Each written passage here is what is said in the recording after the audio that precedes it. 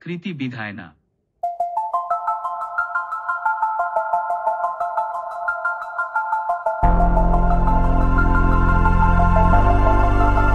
আপনি শুনতে চলেছেন শ্রী শ্রী ঠাকুর অনুকূলচন্দ্রের বাণী। আগ্রহ যখন অপারগতাকে মনন করে না, পারগতার পথ তখনই প্রশস্ত হ, এ উঠতে থাকে। একশো ছিয়াশি। নিরন্তরতায়। আগ্রহোন্মুখ বিহিত অনুষ্ঠান অভিষ্ট ফলেরই নিয়ামক হ এ থাকে। একশো সাতাশি। কর্তব্যে যদি আগ্রহ উন্মুখ জীবন প্রেরণা না থাকে, সে কর্তব্য।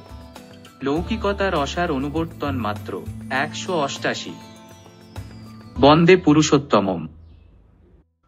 জয় গুরু।